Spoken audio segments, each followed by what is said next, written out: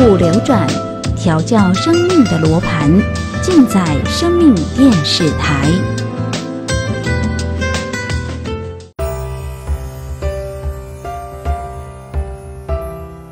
接下来，请收看菩提系列。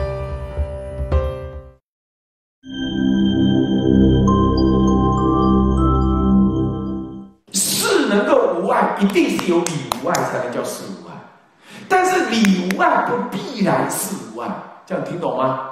这是很接地气的概念，你要了解，懂吗？就理论上是这样，因缘还不是这样，就不能这样。但是因理论上这样，因缘这样了啊，就这样。这个时候理也无碍，事也无碍。但是什么叫理事无碍？是在同一个时间之内，理也无碍，事也无碍，啊，这就难了，对不对？是不是啊？是不是这样子啊？当下理是这样，事情也能这样，我那就难，那就难。比如说啊，我我们为那个青龙寺建设的当下，长老说啊，这给你吧，啊，可能这样叫做理事无碍。但如果真的是那样，我就没有后来的万佛寺。其实万佛寺比青龙寺更好发展，你你去过嘛？啊，是更好发展，因为它基本上呃没有那么深，那么那么远。啊，再来就当然还有好多原因呢，哈，就总而言之，就是它已经建好了更多的比例了。我我大概剩下百分之九十，呃，七十没建好，不过后面的百分之百分之三十花要花很多钱，很多钱，没办法，因缘如此啊。这也是理无爱，但事还有爱，money，money，money，money，money，money，是这样，还有爱，就是事有爱。没关系了，先理无碍再说。什么叫理无碍？我是为了利益众生而建的，我不是为建而建的。他们交给我的时候，是还有一些很多调整空间，但我必须把它完成。那在概念上，我是为众生做，就是理无碍。但是真的还有爱，这样了解吗？那有爱，我要就有爱了，不然能怎样？这又不是时也、运也、命也，非我之不为也。了解吗？是时机因缘如此嘛？那能能怎样？又不能怎样？了解吗？那只能等待。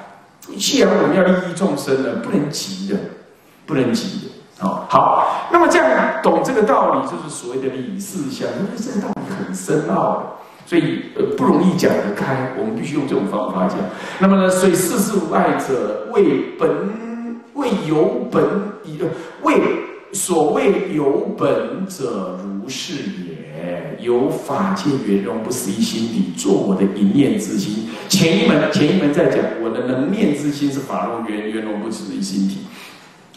如果既然是这样子的话，那么正在举这个体，举体就是全体的意思，懂吗？你正念佛时，就是那个法界圆融不思议心体，对不对？这个心体是什么？是理，是理，是理无碍。对不对？我心即即是佛，即是众生，心佛众生三无差别，这是理上无碍。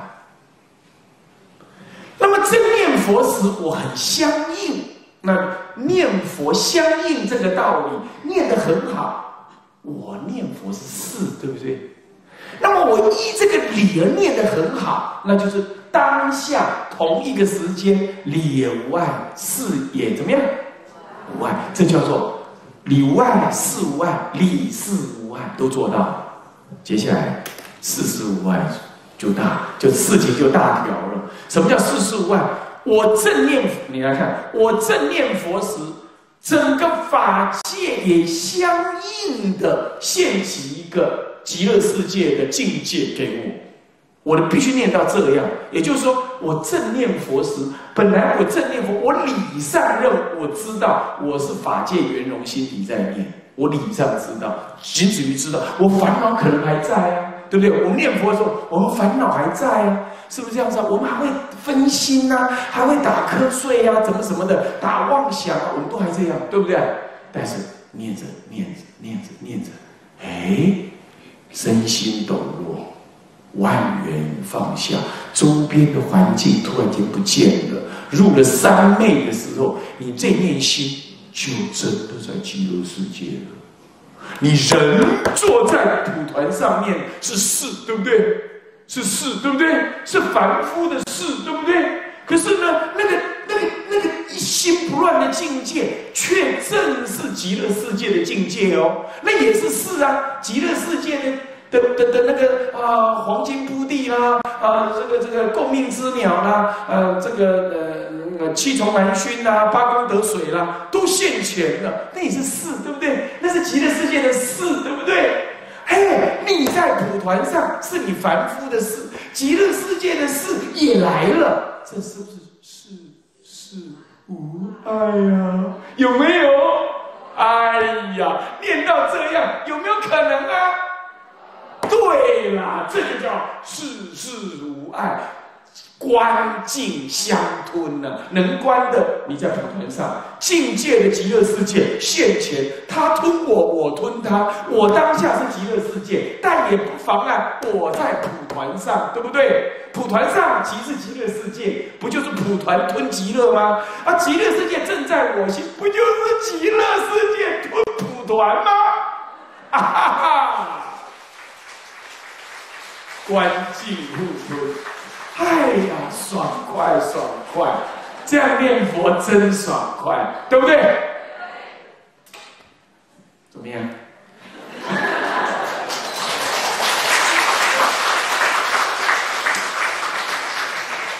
哎，这这真的是很不容易讲。啊，好，那么就这个意思哈。所以说，你看他下面讲这个文，好，复取。举体做身做佛做一做正有没有？你这心念能够一，能一的能一就环境嘛，所以极乐世界的一正就是我的正报，对不对？所以一正二报都怎么样？都现前嘛，同时现前互吞嘛。心可以做一，可以做正，可以做阿弥陀佛，也可以做凡夫，是不是？是不是观境互吞？我我能观的是我。我观的境界是不是阿弥陀佛？我能观的是我的娑婆世界的普团，所观的是极乐世界的清净相，对不对？所以一正主判都是能观所观，都是互吞着的，都是这一念心所成。这样了解吗？所以一念心中做真、做佛、做正、做一、做主、做判，都可以成就的。做佛，佛就是主；做判就是做一。叫做生就是做呃做伴，对吗？生众生就是伴，极乐世界的陪伴者嘛，哈，这嗯伴者这样的意思啊。好，呃就全体而作，即皆全体而作，有何一法不即是法界呢？故曰一成法界不小，刹海法界不大，多一法界，少一法界，这是就是多跟少说的，就总在一法界内。你的一张蒲团是少，对吧？对吧？那极乐世界充满着八功德水，种种庄严是多，对吧？都不离当下一念心的法界，互吞的多少互吞。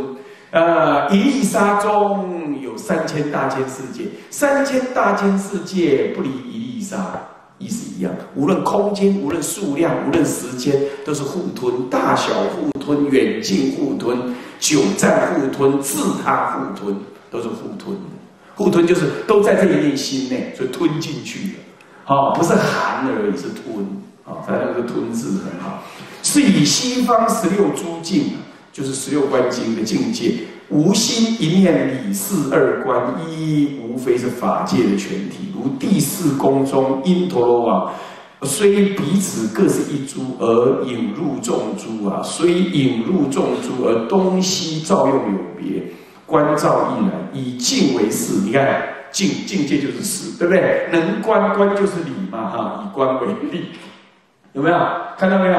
好，刚刚说的就是理事，就是观境两者啊。坦白说，这是我刚刚没有看到，这我自己理解就是这样。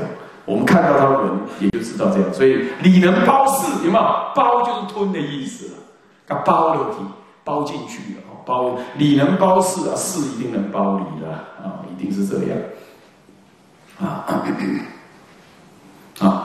是以静以以观能够来以观来吞静，以观为事，则静是不是那个理？静就是理，所以理能包事，是以静吞观啊，就事理就互吞了。简单讲就是这样。若观若静，或为一事，或一为事，余为理；或一为理，余为事，彼此各自互吞。那故如因陀罗网啊，一来我们先说因陀罗网是什么东西啊？因陀罗网是这样。这个第四天哈，第四天的天上，它没有用月亮，没有太阳，它是什么？它是一个网。那个网上面啊，网不是这样相衔接吗？就是这样网网，我们说网是这样子的。哎呦，我们说网哈是这样，叫叫做网嘛，对不对哈？渔网晒网不就这样吗？它这个每个网的这里都有珠。网的相衔接掉都有一粒珠，那粒珠会放光，那就以那个光作为天人的天光。那那个珠子呢，不但会放光，它还会表面很光亮，你懂吗？会互相互相照着对方的珠子，就好像镜子有没有？会互相照一样，它互相照啊。所以说是光光互照，珠珠珠影的互相融摄。他在做这个比喻，叫古人嘛，他就东西没有很多，他就拿这个做比喻，这样听懂吗？好，你看一一一粒珠子上面不是可以印出人影吗？那两粒珠子可以印出人影，对不对？那两粒珠子之彼此之间就印出好多好多影子了，这互吞嘛。你你你你的表面有我的影子，哦，我我的表面也有你的影子，这样懂吗？他在比喻互吞的意思。这样知道吗？不是含着吞进去，就是你心中有我，我心中有有点中，有点有一点这个意思了。好，那么冤亲债主在找。啊，好，那么这个呢？所以一为理，理为事，一一为理呃，这里说或一为事，或一为理，这个在讲什么呢？这个其实是没什么重要，不是什么很重要的，就是他在讲的是说理跟事随你随你去分辨，说事也可以说理也可以，这样听懂意思吗？为什么？因为你要说极乐世界是事，就是你看得到，对不对？事相上你看得到那个长相那么庄严，对不对？那你说它是理也可以呀，因为那终究不离阿弥陀佛的一念心呐，对吧？是不是？这样？越能见的叫做实，越能变的叫做理，是？不是？啊？所以说，或一为事，或一为理。把真如心说事也可以，把真如心说理也可以。这样，他在讲这个事情，所以这个知道这个概念就可以。最重点在我刚刚讲那样子的观念。好的，我那个普团是四，哎，对，是不是这样子啊？极乐世界本来与你很远，那是本来在理上面，但现在就正念佛时它现前，所以理事是互吞，你懂这个观念，这才是最重要，了解吗？好好，那么这样子呢，其实这里里头所说的同一种概念啊，只是声系不同而已，所以彼此各自互吞，就在这里，总在讲这个东西，互吞啊。故如因陀罗网，因陀罗网就你照我，我照你，的互相照在里头，意思一样。若然者，当我做官的时候，你看看西方的医报跟正报已然在我官之内，对不对？我吞了他了嘛，我是士，他就是理，对不对？哈，士来吞那个理，是不是这样子啊？好，那当然也可以，我是理，他是士。那极乐世界是可见的，是死也可以。那我呢？我在做观是用理在做观，也可以。所以理跟事是互吞的啊。无论是理去吞事，还是事来吞理，都是一样，这样都可以的啊。所以我今身心已在一正之中。所以做十六观经的观，虽然我人在我的娑婆世界的蒲团上，但我身心已经在这当中。在极乐世界的十六观当中，要了解意思吗？好，这就在讲着观观就是说意念着，意念的极乐世界的啊，落日观、水观、佛的庄严观等，最后有一个是四、十五、十六的这个什么呢？这个念佛下品的那个呃呃得度的观啊，这个好多这个各品的观都有哦。这些呢，都是在都是都是理，但是也现出现出事项来，那么。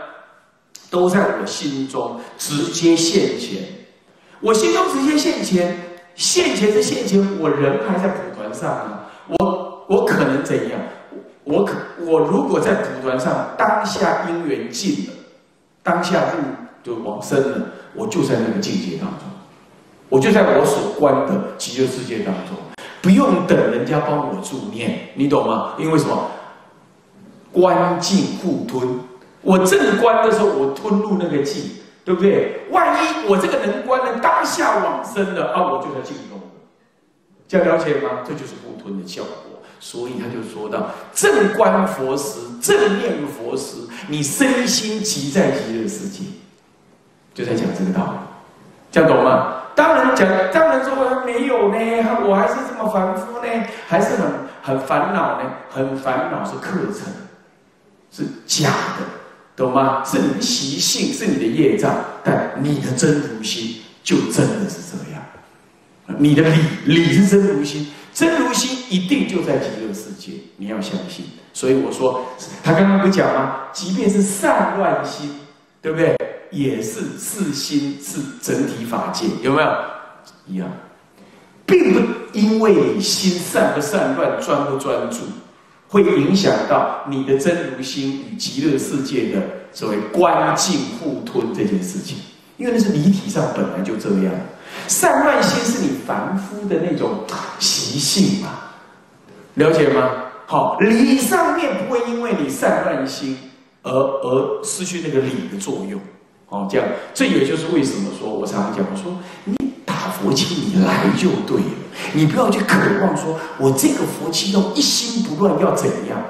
当然你要一心不乱，但是没有一心不乱，你只要像我这么说到现在这样，一直很有信心的念，自然真如性就在作用，理事互吞，懂吗？是这样，你那个念佛的事就吞那个理。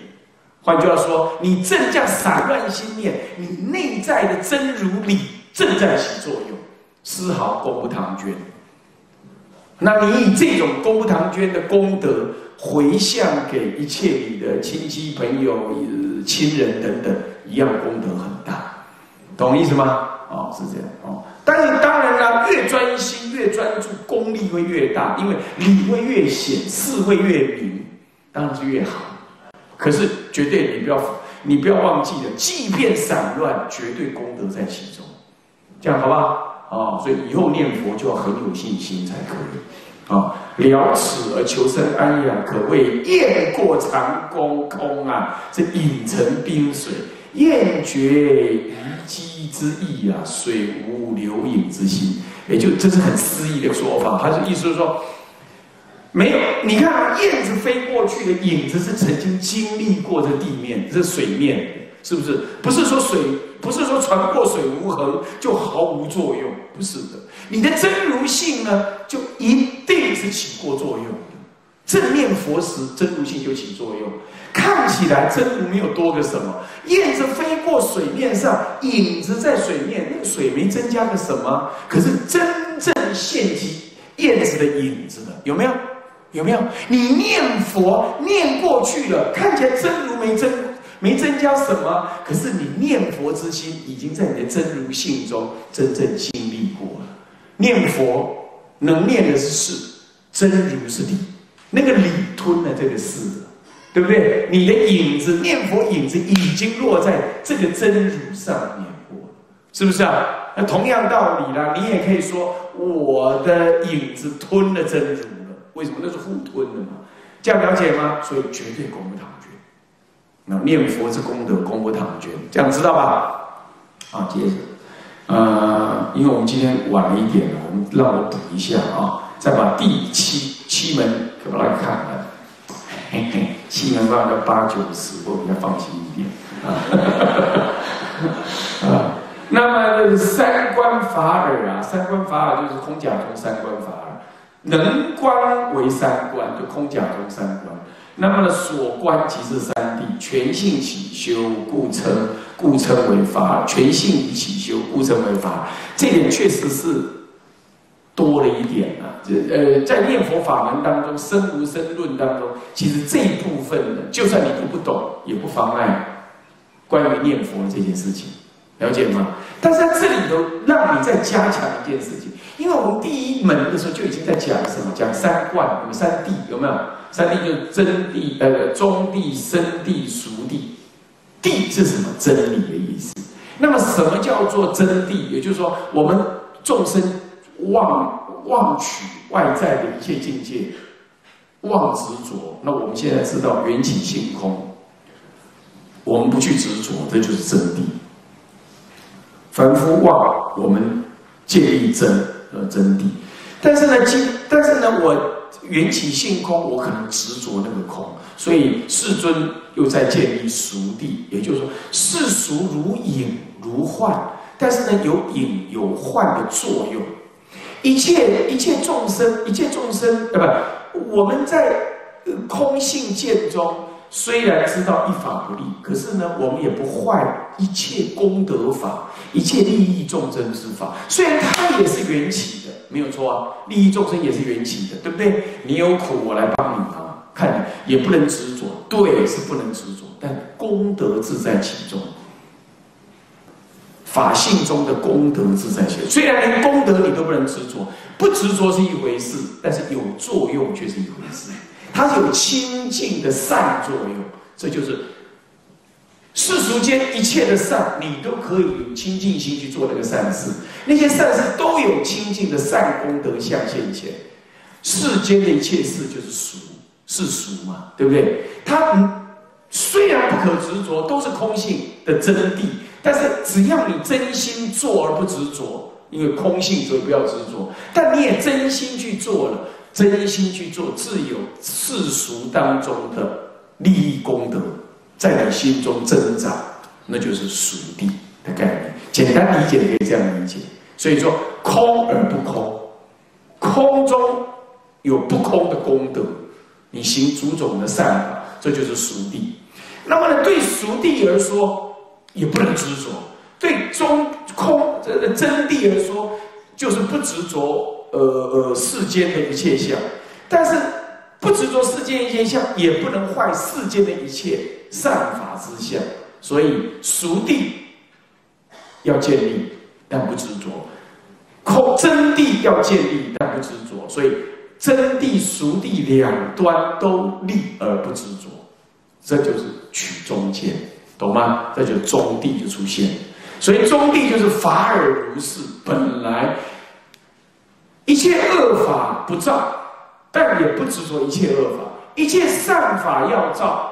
但也不执着一切善法，降名为中谛。中谛就是中中就中庸啊，不不取空不取有的真的的两端，名之为中谛啊。那么就是三谛。那三谛能观就是什么？一个是观空，一个是观假妙假，一个是观实相。实相就是中地。所以能观是三观，实相观妙啊啊。空观、妙假观、实相，叫做三观，好，或者叫中观啊。实呃空呃呃空观妙假，真空观妙假观，中观啊啊，有时候也可以讲成呃空观啊，缘起空呃真空观妙假观，把第三观的中观呢讲成实相观也可以，这样懂吗？这就是三观。它一般来讲是空假中。空观、假观、中观，啊，这最简单的讲法是这样。那么观出什么呢？观出真空观观真谛，啊，那么假观观熟谛，那么中观观中谛，啊，那就是所谓的三谛。这样名字先知道了。那么全性以起修，什么意思啊？能修能观的，不过就是我的法界圆融心体嘛，对不对？啊，我观什么呢？观一切境界。那一切境界不是也是我的法界圆融心体所投影的吗？是不是？所以能观即是所观，所以你看看，全性以起修，什么意思啊？我全我的我能修的，无论是修中观、假观还是空观，都是我这念心体在修，对不对？是不是？那这念心体并不分哪一个样，中观、空观、假观呢？只要心体修任何一关，都是心体在起修，所以叫做全性起修。还真刚好呢，是这样啊？这这样了解意思吗？啊，就是整体一面法界圆融，不是一心体在起修，所以叫做全性起修。起修这三观，起修这三观。那么三观能起修，其实就是法界圆融的不思议心体当下。不思议的心体当下是即空即假即中的三谛的，所以。虽然有所观，虽然有起修，修的内容不过就是法性本然的样子而已，并不是你多出来，并不是你生出一个真理出来，或者修出一个真理出来，不是的，你最终就是观到它本来的样貌。唯有它本来的样貌，所以佛性非修出来的。如果佛性是修出来的，那佛性也会因为你修出来的这个缘起，将来也会灭掉。佛性没灭，佛性不必修，佛性不生不灭，本然法尔如是，这就是这样子，所以称为法尔。能观所观，也不离那个法尔，懂吗？能观不是因为你能观才出现佛性，是透过能观为方便，就能观三观为方便，观察三谛为方便，然后最后看到了法尔如是的佛性。不是你关了才产生佛性，那糟糕，那没关，难不成佛性就不见了，清净性就不见？不是，懂吗？法尔本来就在那里，也就是说，一个瞎子本来没看到一一一只白象在那里，好大一只，他只摸摸摸，他瞎子摸象，以为那就是白，哦，不是，但是哦，是被镭射医好眼睛，眼睛张开一看，啊，象在那，它本来就在那。并不是因为他眼睛睁开来才有象，是因为这次眼睛睁开，终于让他看到本来就有那个白色的象在那。了解意思吗？大象的象，这是比喻了哈，是这样。所以佛性法尔如是，透过三观做方便，而全性起修的，无非就是全性那个性，就是你所观察的佛性。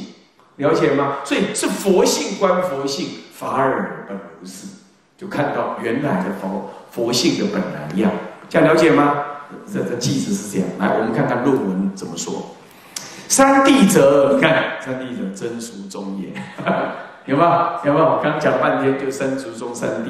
那么三观者空假中，看到没有？啊，这完全对应了啊！忘情觉解莫上乎真缘呐。啊，莫上乎真呐！啊，随缘应用，莫上乎俗啊！就是忘情绝解，就是什么叫真？真就是凡夫，凡夫总是有忘，总是有颠倒情情感，现在把它忘掉。凡夫总是乱解这个人间相，懂吗？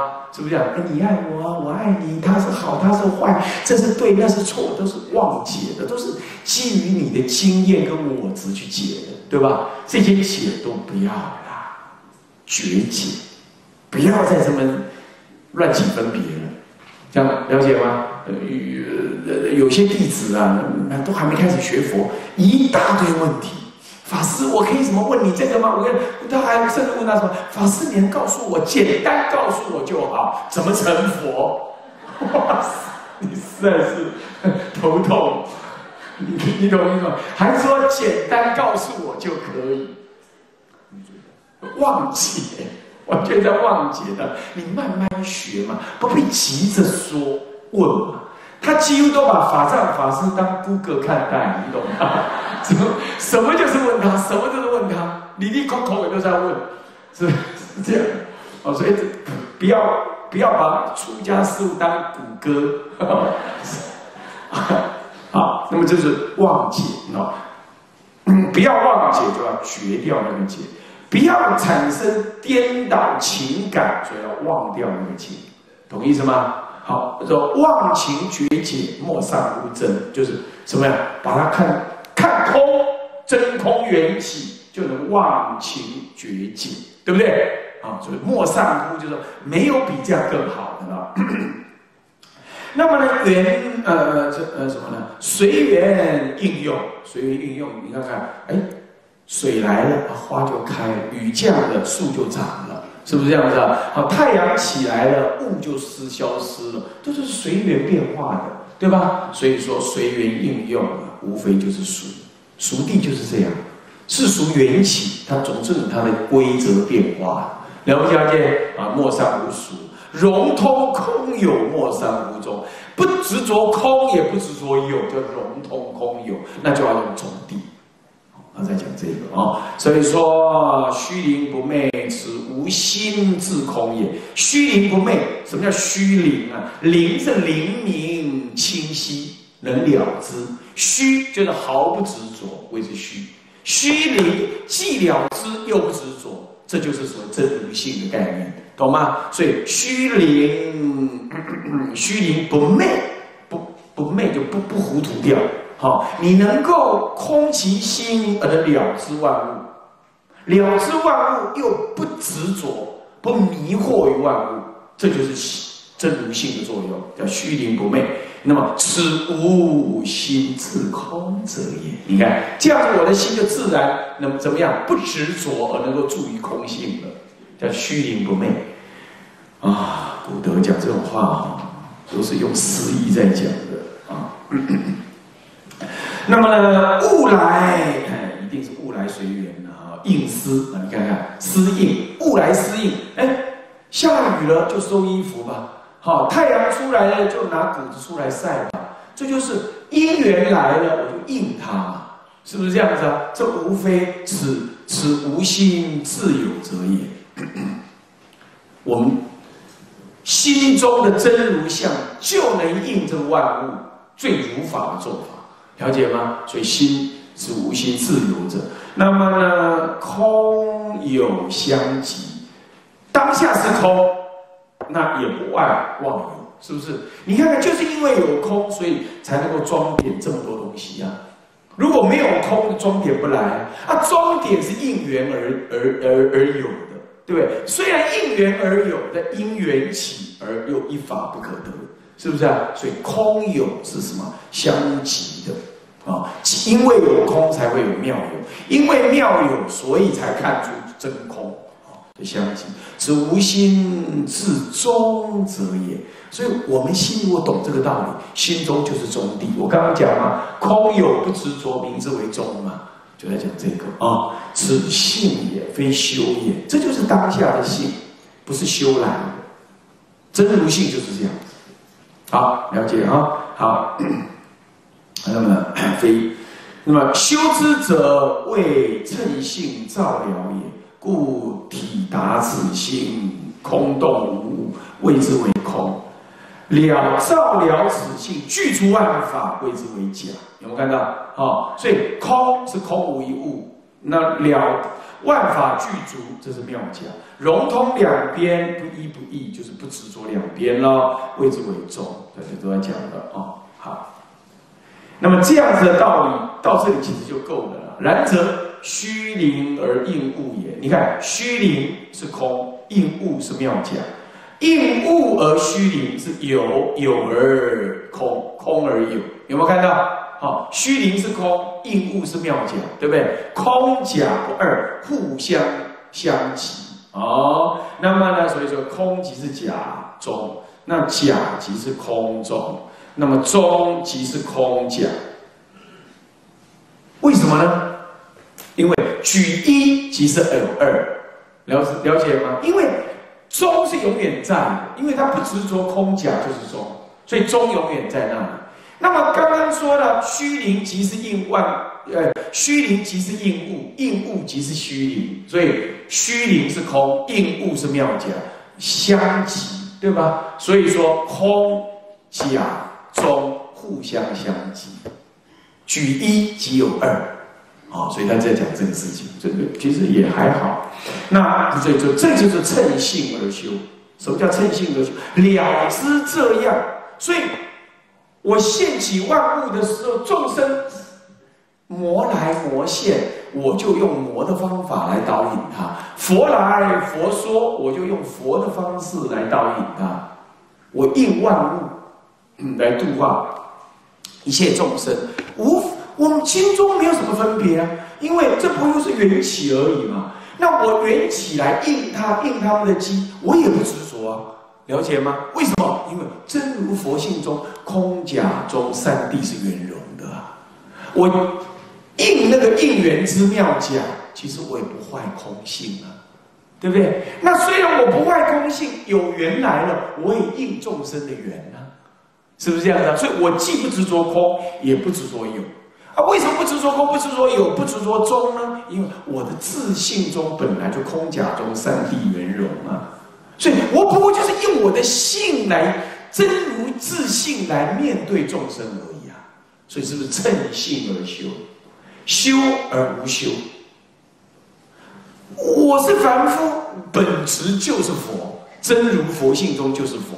所以说我正修时，我也不执着我是凡夫，当然我也不求我是佛。何以故？本来是佛，何必求佛？说我执着我是凡夫啊，好苦好苦，也不必啊，因为凡夫是妄觉啊，当体是佛啊，是这样。所以趁那个性修而已。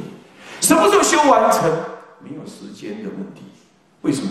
嗯啊，没有佛可成，没有凡夫可离，没有生死可断，没有涅盘可证，那我急什么？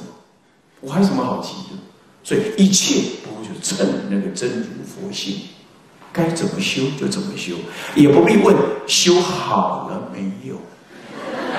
了解意思吗？比如说，我正在梦中抓老虎，正把它抓住了，想要把它降服到变成小猫，请问哈，要多久才会驯服的好？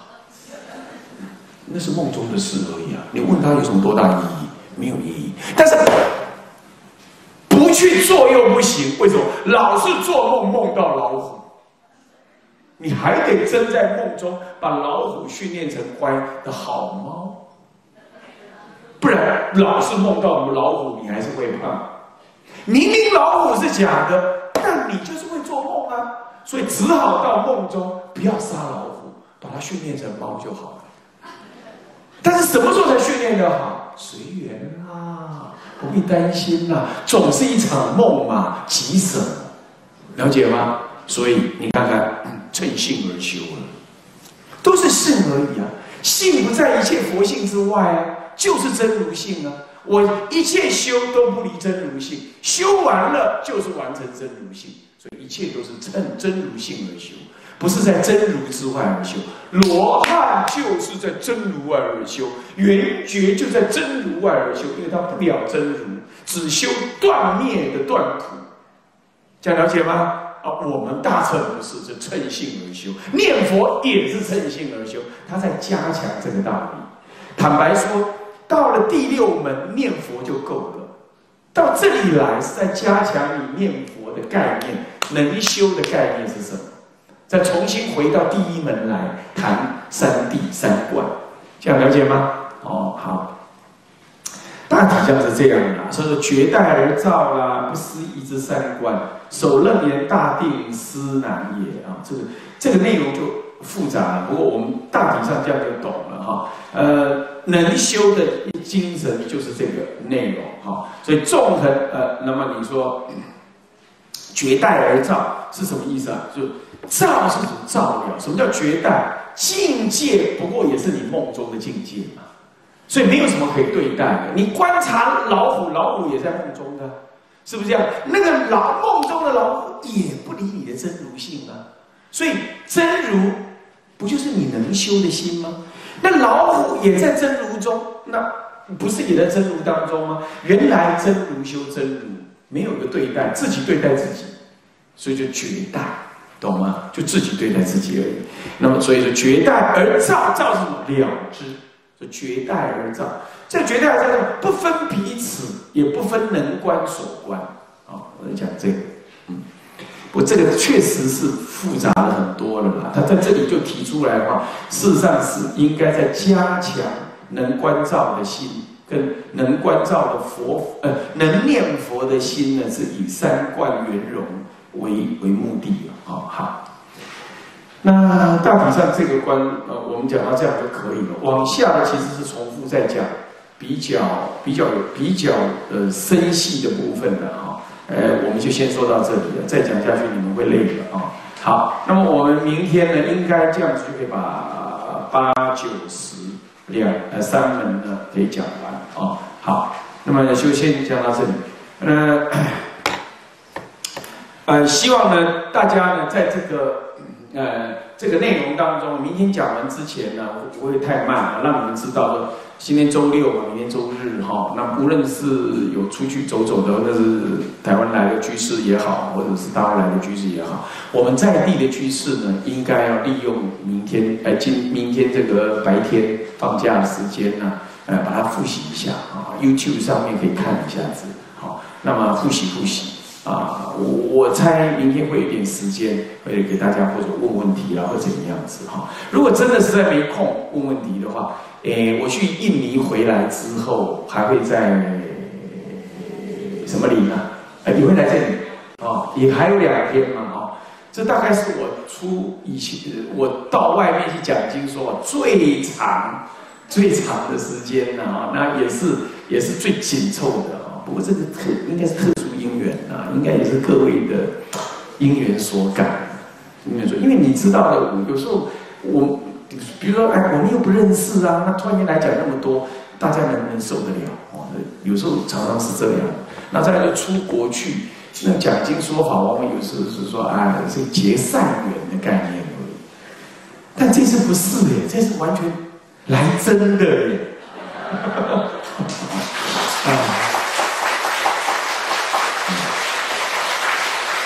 啊，你们 来真的，那就来真的啊。佛法讲缘起嘛，不变随缘，随缘不变啊，是不是这样子啊？那就这样做。好，那这里虽然明天才需要讲这话，但是我我觉得到这里差不多一段了。我我我有个感触，就是说啊，首先就是很感动于诸位的那种诚心求法之心呐，啊，很难得，很难得。这个果然是很先进的人民的一个心思啊，那也是我们长期以来啊，我们这个啊。会会里人在推动佛法认知当中功不唐捐的表现，好，这个应该是众生之幸啊，也是我们新加坡的这国家的国运昌隆之相。因为老百姓愿意学佛，愿意听经闻法，这很重要啊，这很重要。众生无边誓愿度，众生无边誓愿度，烦恼无尽誓愿断。法门无量虽学，佛道无上虽证。自归佛，当愿众生。理解大道，发无上心。自归法，当愿众生。深入经藏，智慧如海。自归身，当愿众生。同理大众，一切无碍。愿以此功德，庄严佛净土，上报四重恩，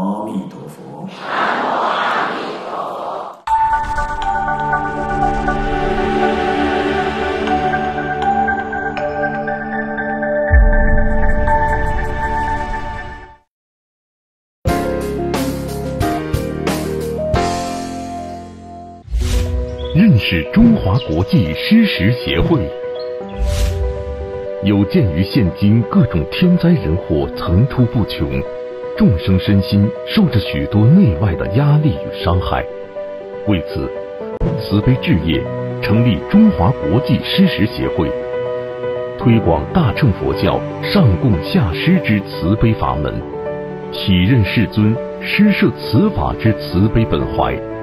如此不仅能分担如来家业，布施者亦得福，实为名扬两利之善行。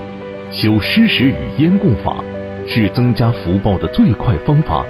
不仅布施六道众生，可以增长布施者福禄寿财、生生世世福寿长、善根具足。也因为布施鬼道众生与众生结善缘，则能免除一切有形无形障碍，能对我们世间的生活需求、事业有所助益。国际万场烟供。自一零四年四月十一日起，至一一零年四月二十三日中午止，海内外共三十万三千零二十五场。布施蚂蚁、小鱼，自一零五年五月二十一日起，至一一零年四月二十三日止，海内外共一万两千三百一十一次。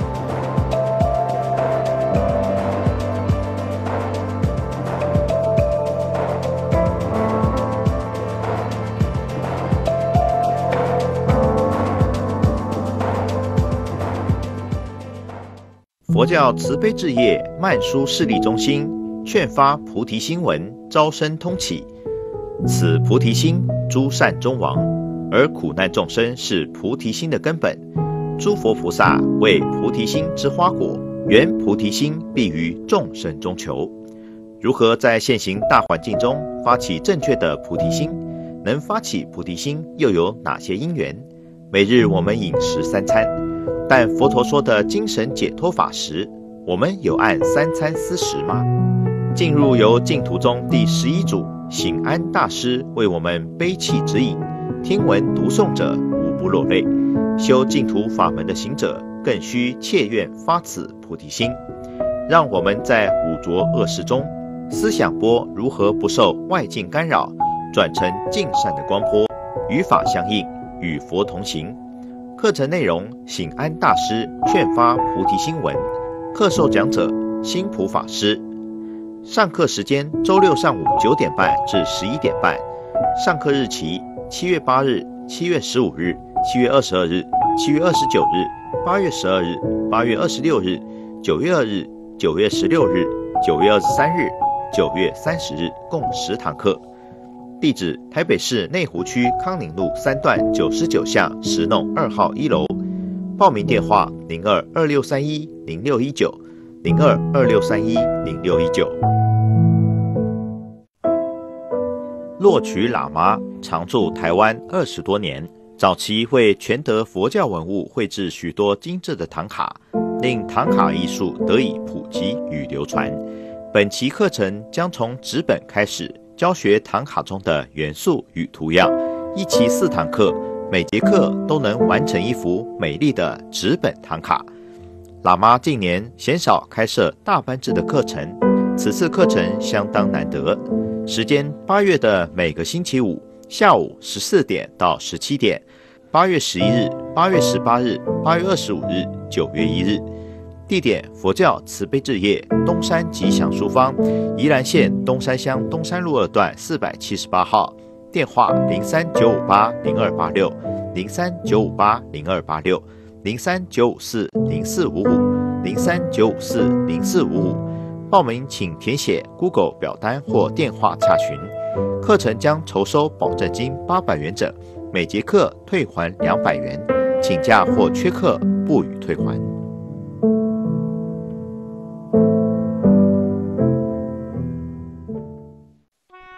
因爱重生的流浪狗，有一只名叫洛奇的流浪狗，它原本是一只雄壮威武的狗，也曾经被主人深深宠爱过。豆豆，豆豆，你在哪里啊？豆豆，快过来！豆豆，以后可不要再乱跑了，害我担心死了。以前，以前我的主人也是这样疼爱我的。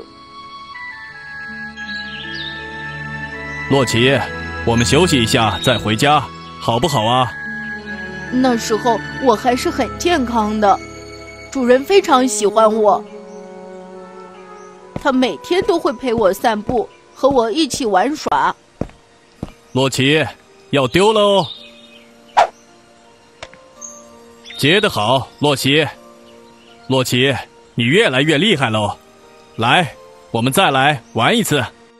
那时候，主人总是喜欢和我在一起，我们一起吃东西，一起看电视，也一起睡觉。可是后来我生病了，变得丑丑的，主人开始讨厌我了，不再让我陪他散步，也不和我一起玩耍了。啊，这是怎么回事？怎么会掉毛掉的这么厉害呢？洛奇，今天晚上你去客厅睡吧。该死，洛奇的病怎么都不会好，反而越来越严重了。我身上的毛越来越少，最后主人厌倦了生病的我，便将我丢弃了。从此，我成了一只流浪狗。真可恶，怎么还在不停的掉毛？看来这只狗是不能再养了。洛奇，出来，我带你去兜风。洛奇被主人遗弃后，便四处流浪。他原本就已经感染了疥藓的皮肤变得更加严重。天啊，你看，那只狗真是太恶心了。是啊，那只狗看起来真恐怖。我们还是离它远一点的好。我看那只狗，应该是得了什么严重的病，才会变成那副模样。这样的狗应该抓去安乐死才对。可不是嘛，那只狗看了就讨厌，难怪会被主人遗弃。就在这个时候，爱狗的小杜发现了洛奇，他内心的震惊无以复加。以这只狗现在的状态，它恐怕很快就会死在这条街上了。这只狗，它，它真是太可怜了！天哪，这只狗感染了非常严重的疥癣，而且身体又瘦又虚弱。从他目前的状况看来，恐怕很快就会死在街上了。小杜跟随着洛奇来到了他栖息的巷子里。洛奇就趴在臭熏熏的垃圾桶旁，由于长时间没有得到基本的照料，洛奇看起来对生命不存任何希望。呃，好臭的味道啊！狗狗，你愿意跟我回家吗？我希望能够帮帮你。洛奇，你的名字叫洛奇吗？洛奇，跟我回家好吗？就这样，小杜将洛奇从街上带回了家，并送到宠物医院进行治疗。由于洛奇的界限十分的严重，且身体过于虚弱，以至于大家根本无法分辨出它的品种。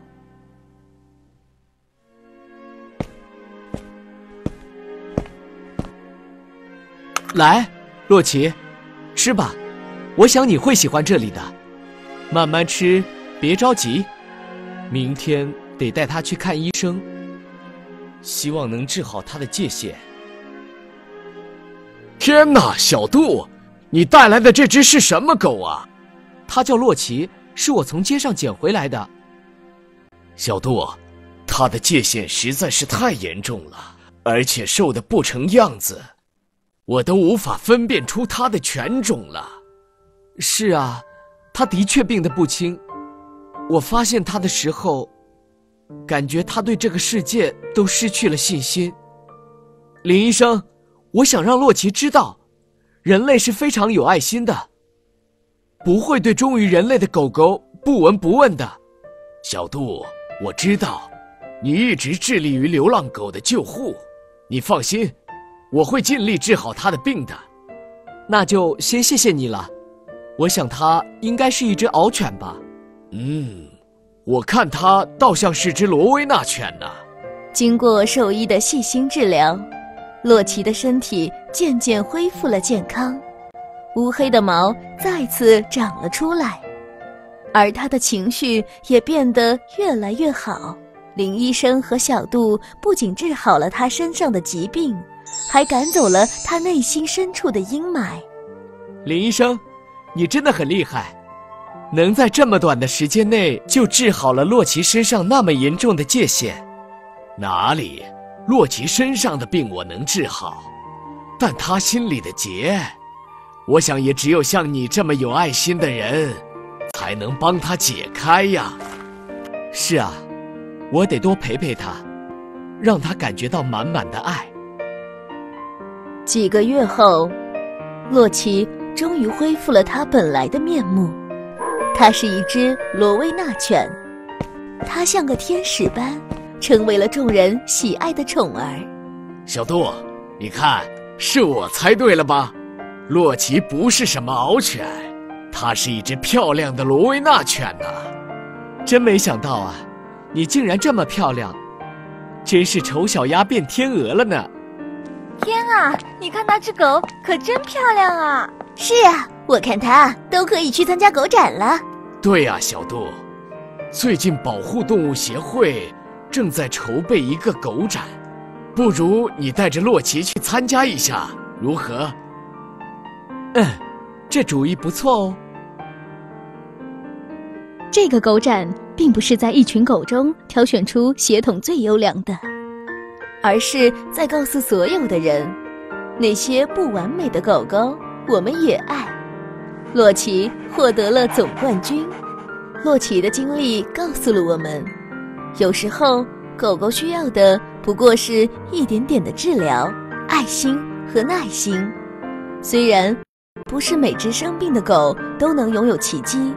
但至少像洛奇这样的狗狗，给了我们希望。